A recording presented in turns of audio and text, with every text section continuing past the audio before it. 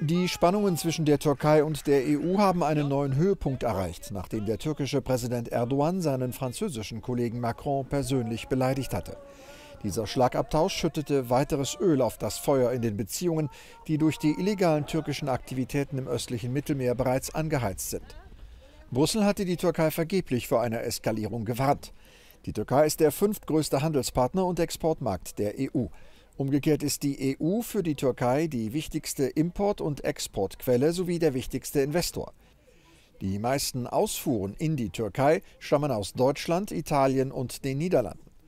Aus Deutschland stammen 21 Milliarden Euro, aus Italien 8 und aus den Niederlanden 6 Milliarden Euro. Trotz der wirtschaftlichen Bedeutung will der Fraktionschef der Christdemokraten im Europäischen Parlament mit der Türkei Tacheles reden. It's not a Greek issue, it's not a Cyprus issue, and it's not a French issue. It is an European issue which is on the table. Dies sei kein griechisches Problem oder ein zyprisches, sondern ein europäisches, sagt Manfred Weber. Und deswegen müsse man auf die jüngsten Angriffe Erdogans gemeinsam reagieren. Wenn Erdogan einen Boykott französischer Waren ausrufe, dann berühre das die Zollunion zwischen der Türkei und der EU, die den freien Zugang zum türkischen Markt garantiere. Erdogan könne nicht einzelne Produkte herauspicken und sie mit einer Strafe belegen. Deswegen müsse der nächste EU-Gipfel die aktuelle Zollunion reorganisieren we must consider to re uh, to redraft and uh, and and reorganize the customs union which we have currently in place. Doch die EU spricht in Sachen Türkei bislang nicht mit einer Stimme. Denn die Mitgliedstaaten haben hier unterschiedliche Interessen, nicht nur beim Handel, sondern auch bei der Kreditwirtschaft und beim Waffenverkauf. So hat Griechenland, Deutschland, Spanien und Italien gebeten, alle an die Türkei vergebenen Lizenzen zu stoppen.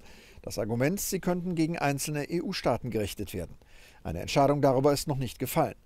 Die wichtigsten Waffenlieferanten aus der EU für die Türkei sind Frankreich, Spanien, Italien und Deutschland.